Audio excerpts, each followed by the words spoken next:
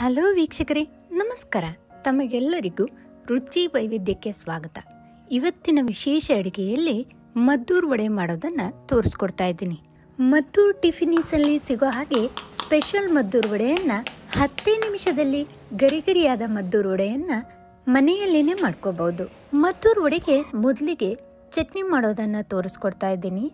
ಚಿಕ್ಕ ಬಾಣಲಿಯಲ್ಲಿ ಒಂದು ಟೇಬಲ್ ಸ್ಪೂನ್ನಷ್ಟು ತೆಂಗಿನೆಣ್ಣೆಯನ್ನು ಹಾಕ್ಕೊಂಡಿದ್ದೀನಿ.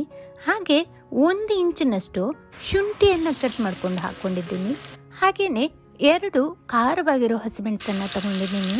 ಹಸಿಮೆಣಸಿನ ಬೀಜ ತೆಗೆದೇ ಉಪಯೋಗಿಸೋದು ಆರೋಗ್ಯಕ್ಕೆ ತುಂಬ ಉತ್ತಮ. ಹಾಗೆಯೇ ಹಸಿಮೆಣಸನ್ನು ಸ್ವಲ್ಪ ಎಣ್ಣೆಯಲ್ಲಿ ಫ್ರೈ ಮಾಡಿದ್ರೆ ಗ್ಯಾಸ್ಟ್ರಿಕ್ ಆಗಲ್ಲ, ಅದೇ ಹೊಟ್ಟೆ ಉಬ್ಬರ ಆಗಲ್ಲ ಅಂತ ಹೇಳ್ತಾರೆ. ಇವಾಗ ಸ್ವಲ್ಪ ಕೊತ್ತಂಬರಿ ಸೊಪ್ಪನ್ನು ಹಾಕೊಂಡು ಹಸಿ ವಾಸನೆ ಹೋಗುವಷ್ಟು ಟೆನ್ ಸೆಕೆಂಡ್ ಹುರ್ಕೊಂಡ್ರೆ ಸಾಕು. ಹಾಗೇನೆ ಒಂದು ಟೇಬಲ್ ಸ್ಪೂನ್ನಷ್ಟು ಪುಟಾಣಿ ಬೇಳೆಯನ್ನು ಹಾಕೊಂಡಿದ್ದೀನಿ. ಒಗ್ಗರಣೆ ತಂಪಾದ ನಂತರ ಕಾಲ್ ಟೀ ಸ್ಪೂನ್ನಷ್ಟು ಆಮ್ಚೂರ್ ಪೌಡರ್ ಹಾಕೋತಾ ಇದ್ದೀನಿ. ಇಲ್ಲಿ ಹುಣಸೆ ಹಣ್ಣನ್ನು ಕೂಡ ಹಾಕೊಳ್ಬಹುದು half teaspoon Himalayan pink salt ಅನ್ನ ಹಾಕೊಳ್ತಾ ಇದ್ದೀನಿ. ಮುಕ್ಕಾಲು ಕಪ್ನಷ್ಟು ತೆಂಗಿನ ತುರಿಯನ್ನ ಹಾಕೊಳ್ತಾ ಇದ್ದೀನಿ.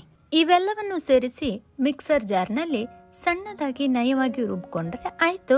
ನೋಡಿ, ಮದ್ದೂರ್ ವಡೆಗೆ ಚಟ್ನಿ ರೆಡಿಯಾಗಿದೆ.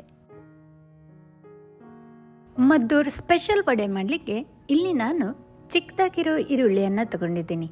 ಇದರನ್ನು ಸಂಬಾರ್ ಈರುಳ್ಳಿ ಅಂತಲೂ ಕರೀತಾರೆ.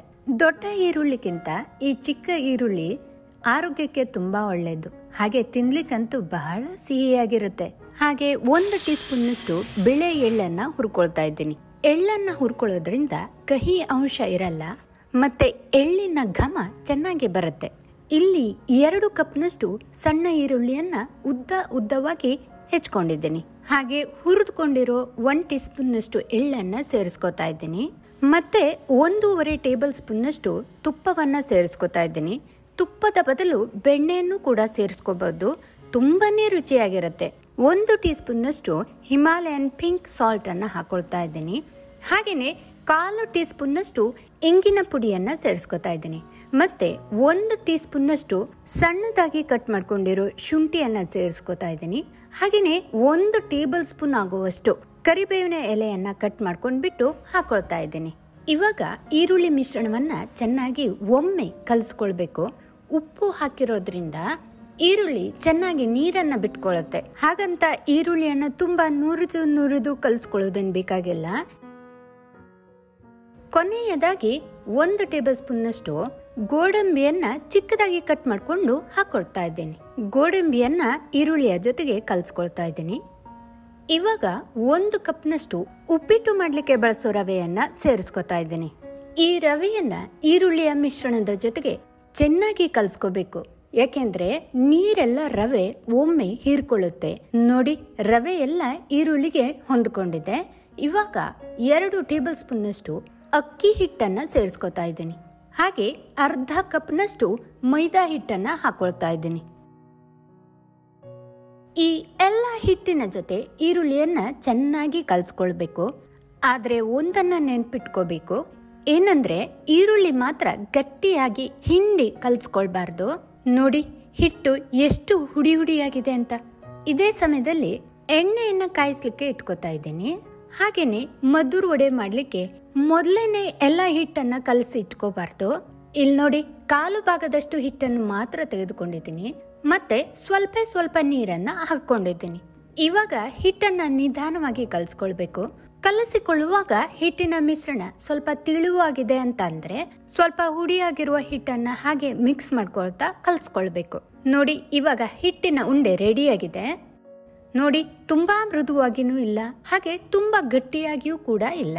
ಮದ್ದೂರು ವಡೆಯನ್ನ ತಟ್ಲಿಕ್ಕೆ ಸ್ವಲ್ಪ ಮೈದಾ ಹಿಟ್ಟನ್ನ ಅಂಗೈಯ ಮೇಲೆ ಹಾಕೊಂಡ್ಬಿಟ್ಟು ಹಾಗೆ ಸ್ವಲ್ಪ ಪ್ರಮಾಣದ ಹಿಟ್ಟನ್ನ ತೆಗೆದುಕೊಂಡು ಉಂಡೆಯ ಆಕಾರವನ್ನು ಮಾಡಿಕೊಂಡು ಅಂಗೈ ಮೇಲೆ ಹೀಗೆ ವಿಡಿಯೋದಲ್ಲಿ ತೋರಿಸಿದ ಹಾಗೆ ತಟ್ಕೊಳ್ಬೇಕು.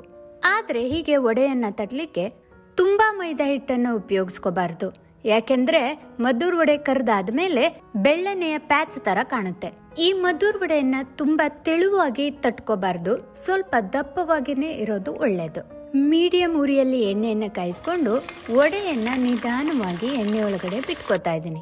ಈ ಮದ್ದೂರ್ ವಡೆಯನ್ನ ದೊಡ್ಡದಾದ ಉರಿಯಲ್ಲಿ ಕರ್ಕೊಳ್ಬಾರ್ದು. ಯಾಕೆಂದ್ರೆ ಮದ್ದೂರು ವಡೆ ಗರಿಯಾಗಿ ಬರಲ್ಲ, ಹಾಗೆ ಒಳಗಡೆ ಇರೋ ಈರುಳ್ಳಿ ಕೂಡ ಚೆನ್ನಾಗಿ ಬೆಂದಿರಲ್ಲ. ಒಂದು ಮದ್ದೂರು ವಡೆಯನ್ನು ಕರೀಲಿಕ್ಕೆ ಸಾಮಾನ್ಯ ಐದರಿಂದ ಎಂಟು ನಿಮಿಷನಾದರೂ ಬೇಕೇ ಬೇಕು. ನೋಡಿ, ಎಣ್ಣೆಯಲ್ಲಿ ಗುಳ್ಳೆಗಳ ಶಬ್ದ ಕಡಿಮೆ ಆಗ್ತಾ ಇದೆ. ಹಾಗೆ ಮೇಲ್ಗಡೆ ಇರೋ ಈರುಳ್ಳಿ ಕೂಡ ಕಂದು ಬಣ್ಣ ಬಂದಿದೆ. ಈ ವೇಳೆಯಲ್ಲಿ ಮದ್ದೂರು ವಡೆಯನ್ನ ಎಣ್ಣೆಯಿಂದ ತೆಕ್ಕೊಳ್ತಾ ಇದ್ದೀನಿ. ಒಂದು ಬಂಡಿಯಿಂದ ಇನ್ನೊಂದು ಬಂಡಿ ಮದ್ದೂರು ವಡೆಯನ್ನ ಕರೆಯುವಾಗ ಮೊದಲೇ ಕಲಸ್ಕೊಂಡಿರೋ ಹಿಟ್ಟು ಸ್ವಲ್ಪ ಮೆತ್ತಗಾಗಿರುತ್ತೆ. ಈರುಳ್ಳಿ ನೀರು ಕೂಡ ಬಿಟ್ಟಿರುತ್ತೆ. ಅದಕ್ಕೆ ಸ್ವಲ್ಪ ಹುಡಿಯಾದ ಹಿಟ್ಟನ್ನ ಸೇರಿಸ್ಕೊತಾ ಪುನಃ ಹಿಟ್ಟಿನ ಉಂಡೆಯನ್ನ ಕಲ್ಸ್ಕೊಳ್ಬೇಕು. ನೋಡಿ, ಹಿಟ್ಟನ್ನ ತಟ್ಟುವಾಗ ಕೈಗೆ ಅಂಟೋದು ಇಲ್ಲ. ಹಾಗೆ ಈರುಳ್ಳಿಯನ್ನ ಉದ್ದವಾಗಿ ಹೆಚ್ಕೊಂಡಿರೋದ್ರಿಂದ ತುಂಬಾ ತಿಳುವಾಗಿ ಕೂಡ ತಟ್ಲಿಕ್ಕೆ ಬರಲ್ಲ. ಫೇಮಸ್ ಇರೋ ಮದ್ದೂರು ಟಿಫಿನೀಸಲ್ಲೂ ಕೂಡ ಸ್ಪೆಷಲ್ ಮದ್ದೂರು ವಡೆಯನ್ನ ಹೀಗೆ ಮಾಡ್ತಾರೆ. ಈ ವಡೆಯನ್ನ ಎಣ್ಣೆಯಲ್ಲಿ ಈರುಳ್ಳಿ ಕಪ್ಪಗಾಗುವವರೆಗೂ ಕರೆದುಕೊಳ್ಬಾರ್ದು. ವಡೆಯ ರುಚಿ ಕಹಿಯಾಗಿ ಬರುತ್ತೆ. ಹಸಿಮೆಣಸನ್ನ ಸೇರಿಸ್ಕೊಂಡಿಲ್ಲ. ಇಷ್ಟಪಡುವವರು ಹಸಿಮೆಣಸನ್ನು ಕೂಡ ಸಣ್ಣದಾಗಿ ಹೆಚ್ಕೊಂಡ್ಬಿಟ್ಟು ಸೇರಿಸ್ಕೋಬಹುದು ಹಾಗೇನೆ ಗಸಗಸೆ ಕೂಡ ಹಾಕೊಳ್ಬಹುದು ನೋಡಿದ್ರ? ರುಚಿ ರುಚಿಯಾದ ಮದ್ದೂರ್ ವಡೆ ಹತ್ತೇ ನಿಮಿಷದಲ್ಲಿ ರೆಡಿ ಮಾಡ್ಕೋಬಹುದು ಹಾಗೆ ಈ ಮದ್ದೂರ್ ವಡೆ ಸ್ವಲ್ಪನೂ ಎಣ್ಣೆಯನ್ನ ಹೀರ್ಕೊಂಡಿಲ್ಲ. ನೋಡಿ, ಮದ್ದೂರು ವಡೆ ಎಷ್ಟು ಗರಿಗರಿಯಾಗಿದೆ ಅಂತ ತೋರಿಸ್ತೀನಿ. ಈ ಮದ್ದೂರು ವಡೆ ಹೊರಭಾಗದಲ್ಲಿ ಗರಿಗರಿಯಾಗಿ ಕುಕ್ಕೀಸ್ ಥರ ಇರುತ್ತೆ. ಹಾಗೆ ಮಧ್ಯದಲ್ಲಿ ಈರುಳ್ಳಿ ಮೃದುವಾಗಿರುತ್ತೆ. ತಿನ್ಲಿಕ್ಕಂತೂ ಬಹಳ ರುಚಿ. ಅದರಲ್ಲೂ ಈ ಖಾರ ಖಾರವಾಗಿರೋ ಚಟ್ನಿಯ ಜೊತೆಗಂತೂ ರುಚಿ ದ್ವಿಗುಣಗೊಳ್ಳುತ್ತೆ. Super taste. ಈ ವಡೆ ತಿನ್ಲಿಕ್ಕೆ ಶುರು ಮಾಡಿದ್ರೆ ನಿಲ್ಲಿಸ್ಬೇಕು ಅಂತಾನೆ ಕಾಣಲ್ಲ. ಸಾಂಪ್ರದಾಯಿಕ ಶೈಲಿಯಲ್ಲಿ ಸಿಕ್ಕಾಪಟ್ಟೆ ಸ್ವಾದಿಷ್ಟ ಮದ್ದೂರು ವಡೆ ನೀವು ಮನೆಯಲ್ಲಿ ಮಾಡಿ ನೋಡಿ. ಹಾಗೆ ಈ ವಿಡಿಯೋ ಇಷ್ಟವಾದಲ್ಲಿ ಲೈಕ್ ಮಾಡಿ ಮತ್ತೆ ನಿಮ್ಮವರ ಜೊತೆಗೆ ರೆಸಿಪಿ ಶೇರ್ ಮಾಡಿ. ಹೀಗೆ ಆರೋಗ್ಯಕರ ಹಾಗೂ ರುಚಿಕರ ಅಡಿಗೆಗಳಿಗೋಸ್ಕರ ನನ್ನ ಚಾನೆಲ್ ಅನ್ನ ಸಬ್ಸ್ಕ್ರೈಬ್ ಮಾಡಿ. ತಮಗೆಲ್ಲರಿಗೂ ತುಂಬಾ ಧನ್ಯವಾದಗಳು.